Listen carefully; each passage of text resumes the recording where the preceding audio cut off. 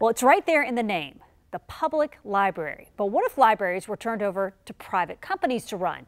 It's an idea that officials in St. Johns County are considering seriously. On your side, Jessica Clark joins us with how this idea bubbled up without a lot of people knowing about it.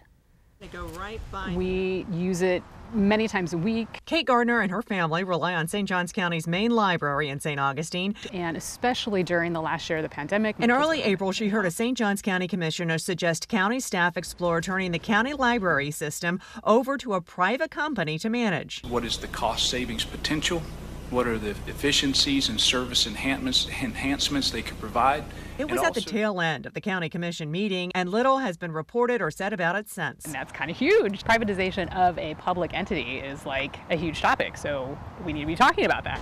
The company the commission agreed to consider is Library Systems and Services out of California and Maryland. It currently operates libraries in Sumter and Osceola counties in Florida and in other states. Some reports have been positive, other media reports are slamming.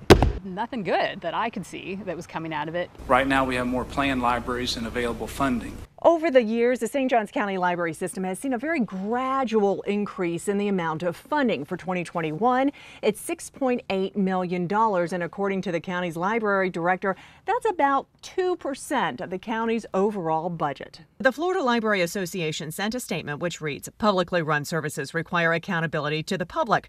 Their budgets are available for public scrutiny, and this lets the public know how their tax dollars are spent. A for profit company is accountable to investors and, by definition, would prioritize profit over the needs of St. Johns County residents. Gardner believes if more people knew about the possibility of privatizing St. Johns County libraries, more people would get involved. And find the funding in which they are looking for to begin with. In St. Johns County, Jessica Clark, First Coast News on your side.